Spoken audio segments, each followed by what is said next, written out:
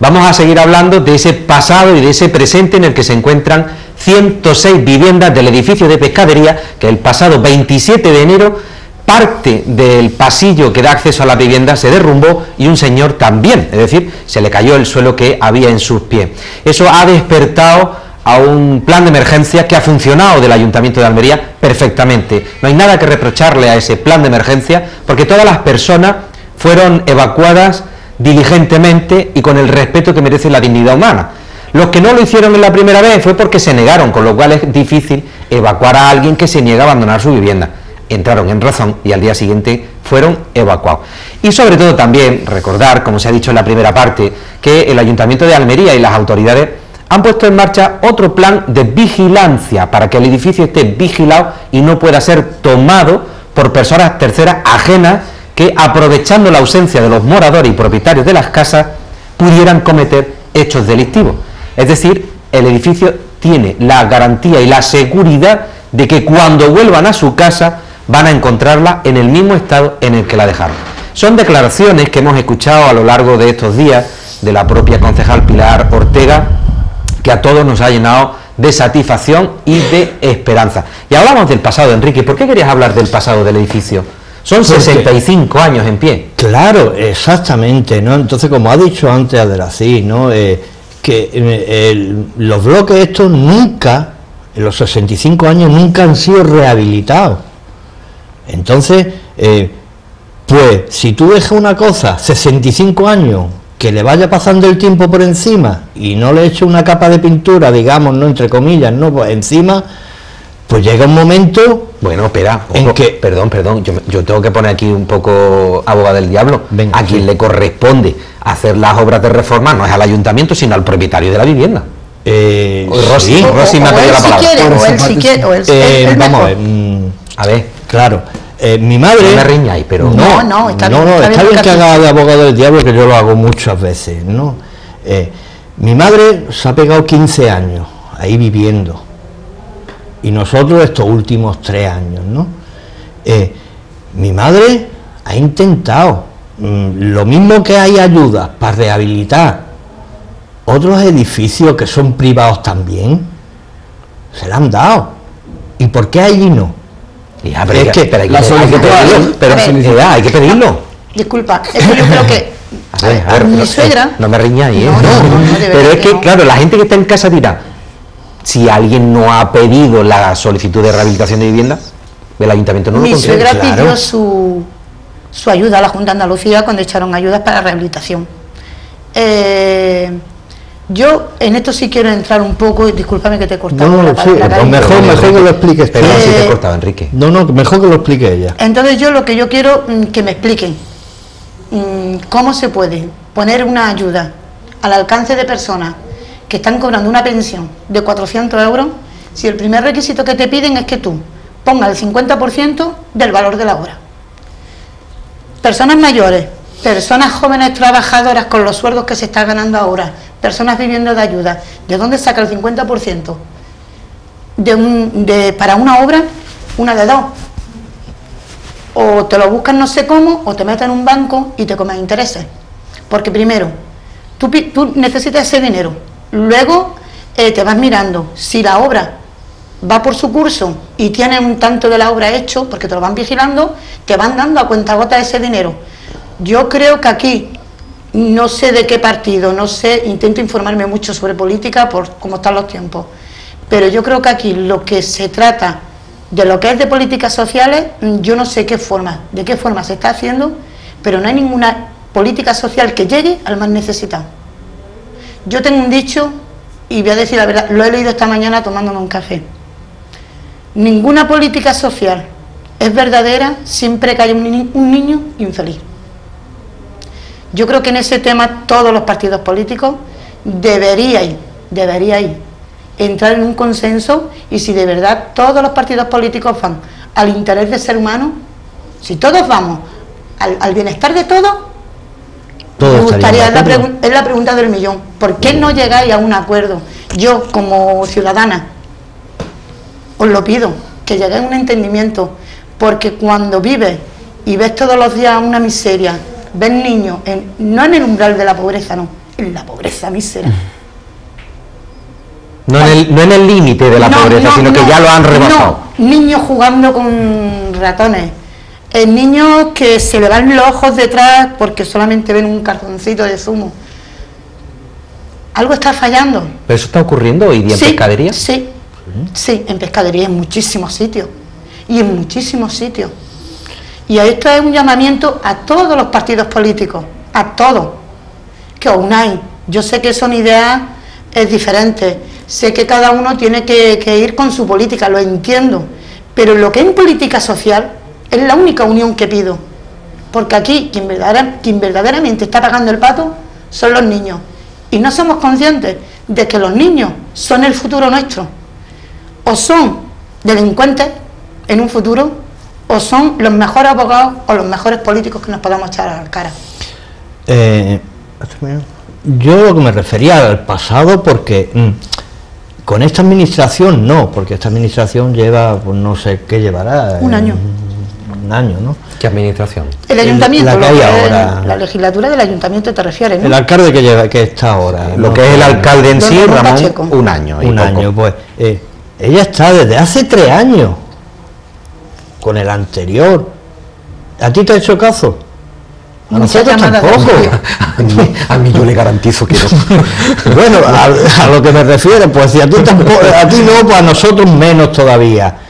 Es que ni la otra, ni el otro alcalde que había antes, o sea que lo que no dejaba, no dejaba que el barrendero, los barrenderos, pasaran a limpiar el patio. Y porque decía que era privado. Quiero matizar una cosa.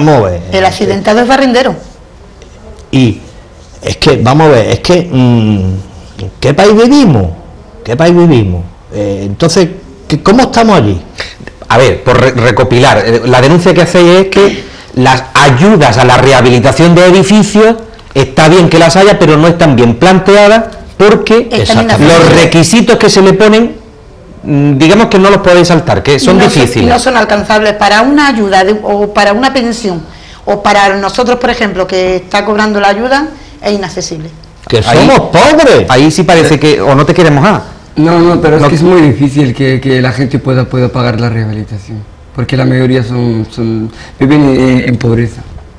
Entonces, eh, con lo cual, ¿qué hacemos con el edificio de 106 viviendas de pescadería? Ese es el problema. Lo dejamos que se venga abajo, ¿no? Bueno, yo quiero remarcar una cosa, y ya me va a disculpar, a lo mejor me va a tomar mucha confianza, pero que claro, en la Aprovecha, porque este es el único programa donde se dicen ciertas cosas que en otros no se dicen. Así que aprovecha. Y entre nosotros que nadie me va a escuchar, ¿verdad? No, nadie. Normalmente no nos suele ver nadie. Bien, bien. Nos comenta todo el mundo en la ciudad, pero nadie nos ve. Entonces mejor, estamos en casa en familia. Yo quiero reivindicar una cosa porque estoy cansada de ver muchos comentarios en las redes sociales. Yo entiendo que todo el mundo ponga el grito en el cielo. Es que se rehabilita aquí, es que se rehabilita aquí. Es que yo pago mis impuestos. Yo quiero dejar claro una cosa. Soy propietaria. Pago mis impuestos todo el día luz, agua, IBI, comunidad no, porque lamentablemente no la hay. Cuando llegué no la había y no la hay. La había antes, la había. ya lo sé. En tres años que llevo viviendo allí, he rehabilitado mi casa tres veces. Para pequeña anécdota, el viernes a las 3 de la tarde estábamos comiendo a esa hora precisamente porque estaba terminando mi marido de sellarle la mampara y como ocurrió lo que ocurrió, yo no he estrenado mi cuarto de baño. Porque hay gente que está diciendo que si no queremos nada más que ayuda, que queremos una vivienda nueva, que es que claro, nadie se gasta dinero en arreglar su vivienda. Yo personalmente, como he dicho, en un año, tres reformas lo puedo demostrar con fotos, vídeos y con todo lo que la gente necesite. De todas maneras, y además, eh, me viene ahora a la mente de decir, preguntad en el ayuntamiento, porque creo, creo, creo que hay una partida presupuestaria concreta guardada en el ayuntamiento para casos de emergencia social. Yo creo que este caso podría oler a emergencia social, con lo cual, a ver si de ahí podemos coger algo para arreglar algo, alcalde, eh, no lo sé, yo creo que... Lo primero es que es, que eh, es poner el edificio seguro, lo que están haciendo ahora, y luego ya hay que reunir a todos los vecinos y llegar a un acuerdo con, el ayuntamiento y, y solucionar. Pues ahora la pregunta es, ¿Qué, quieren los vecinos? Yo no sé si todos queréis lo mismo o no, pero ¿qué quieren los vecinos? los vecinos lo que quieren es volver a su casa, pero siempre cuando hay una seguridad para ellos. Es lo que quieren los vecinos.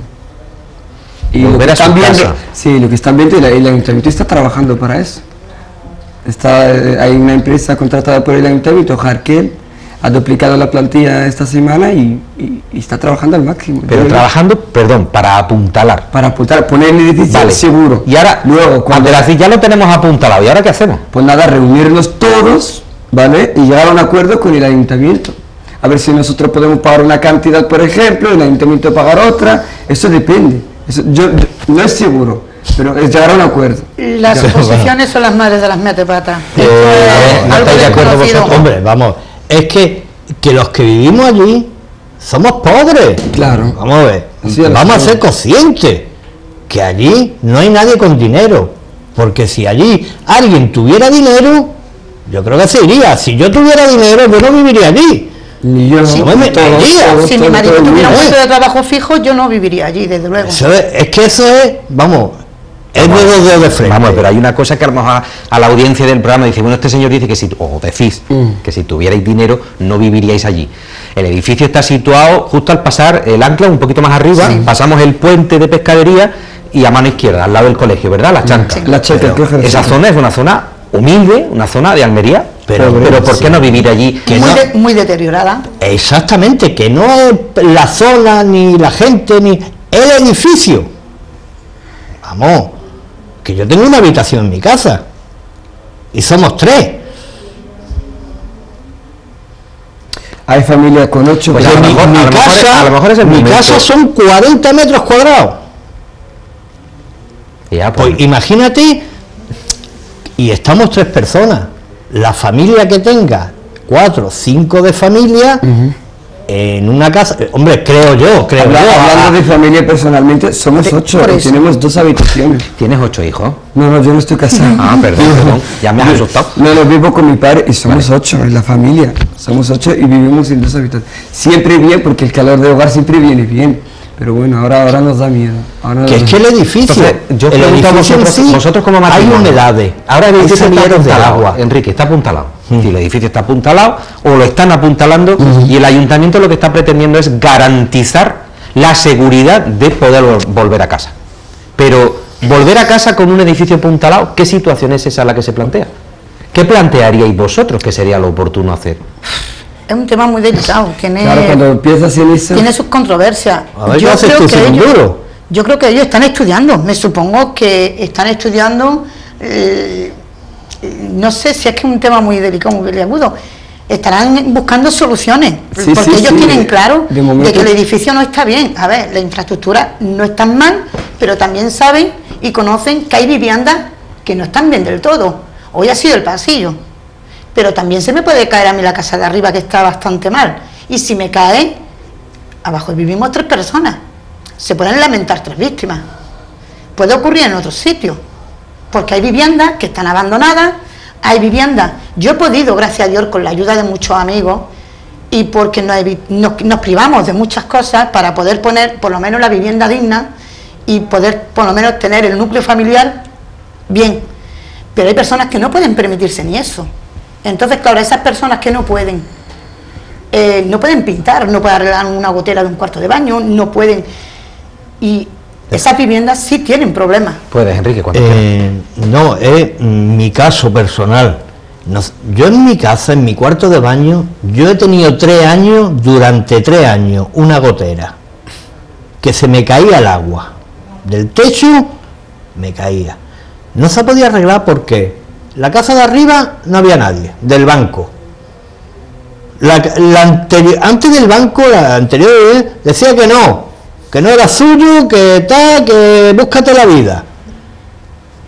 Se la llevan, se la queda el banco, igual, cerrar la casa y sin poderla arreglar, durante tres años, ¿eh? Una gotera. Cayéndome agua desde Cayéndome agua. ¿Tú sabes lo que es eso en una estructura, en un suelo, durante tres años cayendo agua, no se me ha venido el techo de arriba de milagro. Pues porque la divina providencia no ha querido. Gusano, ha llovido gusano. Pues como mi casa... De mi techo. ¿Cómo que han llovido gusano? Sí, la tierra ya podrida, el techo, arena tanta agua, de tanta agua, de, Pero literalmente. Porque el agua venía del bajante, del bajante. A mí me ha estado cayendo durante tres años, que se dice muy pronto, ¿eh? Y lo hemos arreglado nosotros. Y lo, lo, lo he arreglado yo. Y, y todo el patio, todo el mundo que ha hecho obras, ha reformado, ha, ha arreglado sus casas, la ha hecho de su bolsillo. Y no, no, no, a, na- a nadie le han dado un duro. Lo cierto es que los árabes que viven no tienen recursos económicos como para ir manteniendo la vivienda. Claro. Sí, sí, sí, eso estoy de acuerdo. Con Sí. lo cual la situación que se plantea es una situación bastante difícil. Ha funcionado el plan de emergencia, está funcionando que los servicios técnicos con la empresa contratada apuntalan el edificio también. y los servicios sociales Están colabora- Hay funcionando. más de 100 personal de servicios sociales colaborando en esta situación. Que eso hay que Hay que destacarlo reconocerlo, y la hay que verdad, es un reconocerlo. trabajo magnífico. Aquí estamos Y- para, aquí en este programa, cuando hay que darle un leñazo a alguien, se lo damos. Se lo damos. Pero cuando hay que ponerle Claro, una medalla, hay se que lo ponerla también, hay que reconocer eso. hay que y eso hay que hacerlo. Yo lo Pero reconozco. la pregunta que va a quedar esta noche sin resolver es qué ocurrirá con estas personas, con estas familias, Claro, eh, cuando después de apuntalar el edificio se les diga pueden volver a casa. ¿Volverán a casa tal cual o querrán eh, apretarle al ayuntamiento para intentar buscar otra solución? Claro, y otra solución podría ser buscar un alojamiento temporal fuera, digo yo, si digo una barbaridad me perdonáis, para demoler ese edificio y hacerlo nuevo. Pero que poner a ahora- tanta gente de acuerdo, Eso lo tiene que Eh, no se trata de poner a la gente de acuerdo. Mm, Yo creo, a mi poco entender, yo creo.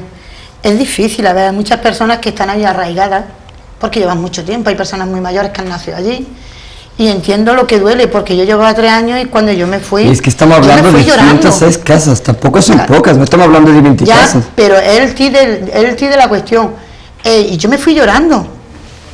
Claro, también vi a mi hija cómo se despedía de sus muñequitos, de sus peluches. Una niña con cinco años. Pero lo entiendo, pero yo creo que, que, bueno, que lo primero que se trata es la seguridad. Luego también, lo mismo que se ha hecho entender de que los pasillos no están bien, pues ya me supongo que los técnicos, mm, dicho por el alcalde, di- dicho quiero decir que el alcalde pudiera decirle a los técnicos que miraran vivienda por vivienda, y bueno, y las que estén muy mal, yo qué sé, buscar, yo creo que entre todos, hablando, podríamos llegar a algún acuerdo, Si hay buena se puede buscar sí, alguna sí, solución. claro. Como he dicho yo la antes. verdad, mm, yo no lo conozco, yo sé que eh, dicen es muy cercano, muy humano, y yo desde aquí mm, sí le pido al señor Ramón Pacheco que pues eso, que siga haciendo la labor que está haciendo, porque con esto que ha hecho yo lo admiro y le doy las gracias, pero bueno, que ahora sigamos en el mismo camino y que podamos, podamos solucionar esto y, y rápido y seguro. Claro, lo que pasa es que eh, también hay que dar tiempo, es lo que yo estaba diciendo antes, que queremos las cosas y las queremos ya, ¿no? Entonces, pues, hay que darle tiempo también. Este hombre, Claro, lo claro, primero, claro. lo primero cuál es? Asegurar el edificio, asegurar los pasillos, que, que no haya peligro ni riesgo pa- ni para los niños ni para las personas mayores.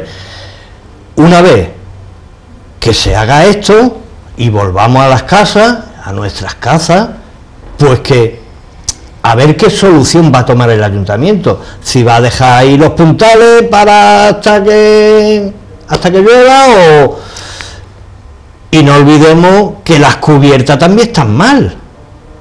Muy mal. Mm, Fatal, Que de aquí a X tiempo se te Cae. una cubierta y las torres gemelas no es nada para lo Es que que puede ya se han ahí. caído en varias casas. No, es verdad. Es verdad. Es que Claro. en cuanto se caiga una cubierta, Dos o tres casas que no tienen un techo. No tienen techo. madre mía, pues Hay algunas con plástico. Antonio, En cualquier caso, sí le pedimos al Ayuntamiento de Almería que haga todo lo posible a través de los técnicos municipales para que evalúen no solo la estructura del edificio, sino la estructura y el estado en el que se encuentran las 106 viviendas. Y a partir de ahí, teniendo datos suficientes de profesionales técnicos que puedan acreditar el estado real, porque lo que acredite un técnico que es un profesional es algo que los afectados tendrán que aceptar porque es la realidad de lo que haya. Claro. Y con esos datos estamos seguros desde el programa El Observatorio que el Ayuntamiento de Almería entonces tendrá argumentos para reunirse con los vecinos y buscar la mejor de las soluciones. Porque claro, si esos informes técnicos dicen que las viviendas, desde el punto de vista no de la estructura general del edificio, sino las viviendas en particular, estas están bien, estas están bien, pero estas están mal, tratará de buscar una solución para las que están mal. Con lo cual, solo con los informes técnicos podremos ir descartando qué solución sí y qué solución no se puede adoptar. O por lo menos lo que yo haría, desde luego. Exactamente, sin olvidarnos que eso requiere su tiempo. Ya, un llamamiento a los afectados sean españoles, sean árabes o sea quien sea. Hay, que marcar los tiempos, señores, senegaleses también. Hay senegaleses, hay argelinos, hay marroquíes, hay gitanos, hay españoles. Nada, pues entonces... Es una, comunidad muy, muy cultural. Multicultural. entonces lo vamos a dejar en las personas afectadas. Sí. Atención, que todas las personas afectadas tienen que comprender que hay que marcar los tiempos y que las cosas hay que hacerlas poco a poco conforme se tienen que hacer, que nadie tiene la varita mágica para arreglar las cosas, con lo cual, como parece ser que se está haciendo bien, vamos a tener un poco de paciencia mm. para que el ayuntamiento pueda terminar ese plan de emergencia y pueda de alguna manera empezar a enfocar una solución. No sé si queréis apuntar algo más antes de irnos. Enrique, Rosy. Pues nada, solo. Adelante, Sí, sí, por favor. No, lo que tú has dicho, eh, esto hay que tener paciencia, esto no hay ninguna varita mágica, como tú has dicho, que pum, pum, y ya está todo arreglado y venga, y todo. Esto se necesita tiempo y que pasen los días y solucionar paso por paso. Ahora mismo, ¿qué es lo que los puntales? Pues bueno, ya una vez que esté esto, a ver qué solución da el ayuntamiento y pues la que den, pues bueno, las casas son nuestras. Pues tendremos que acatar lo que diga el ayuntamiento y si tendremos que vivir con puntales... Yo, puedo matizar algo sobre eso. Sí, sí, pero que digo que tampoco lo digas así, porque entonces el ayuntamiento va a echar... No. Tenéis que hacer... No, yo digo un poquito, ahora que no nos oye el alcalde, alcalde, quita la televisión, quítale la voz a la televisión. Ahora que no, ya nos oye, apretarle.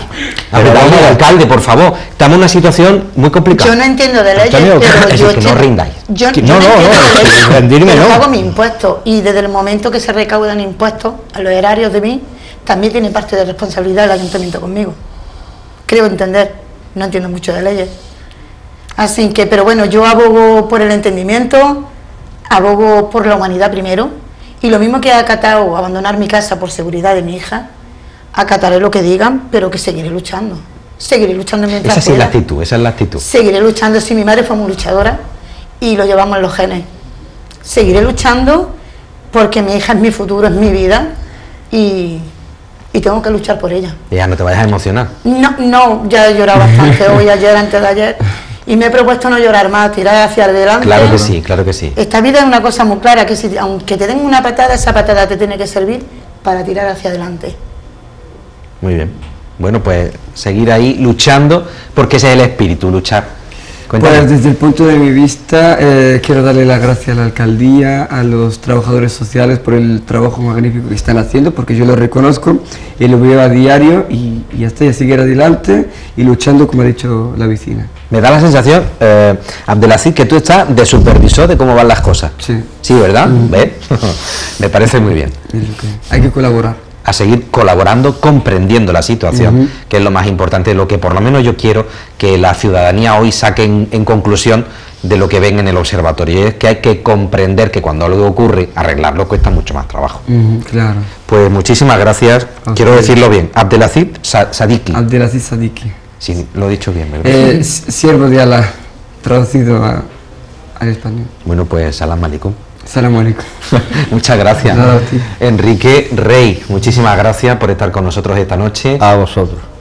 Eh, Rosy, tengo el compromiso vuestro de que eh, os puedo llamar por teléfono para que entréis a, nuestro programa para hacerle un seguimiento a vuestro problema. Siempre y cuando sea en beneficio de mis vecinos, yo estoy dispuesta a lo que haga falta. Claro. Y yo también me apunto a Por mis niños. Vale, vale, para llamaros en próximas ediciones que ocurre algo de emergencia, os venía aquí físicamente. Pues claro. Tanto para zumbarle al ayuntamiento como para agradecerle. ¿eh? De lo que vamos a agradecerle. Ya, claro, claro, claro, pues eso es lo que digo, es decir, que igual que hay que hacer una cosa hay que hacer la otra. Y si no ocurre nada serio y las cosas van bien, yo os llamo por teléfono y entráis a, aquí Estamos. Claro, es que es, la cuestión esa, ¿no? De que esto pase una semana y se olvide. Bueno, nosotros vamos a procurar que no. Y los puntales estén ahí hasta que el Señor quiera. Entonces, pues si estáis, ya te llamaremos nosotros para que decir, oye, vamos otra vez. Ya. aquí estamos si hay que dar caña, daremos caña y, y, si hay que agradecer, pues se agradece. Esa es la premisa de este programa. Muchas gracias a los tres. Nada ahí estamos. Es decir, si hay que dar caña a alguien, pues como lo hemos hecho en estas dos semanas anteriores, pues se la damos. Siempre que se la merezcan. con documentos que lo acrediten y con argumentos respetuosos. Pero también si hay que poner una medalla, estamos dispuestos a ponérselo a aquel político que se lo merezca o a aquel ciudadano que haga algo por los demás que también se lo merezca.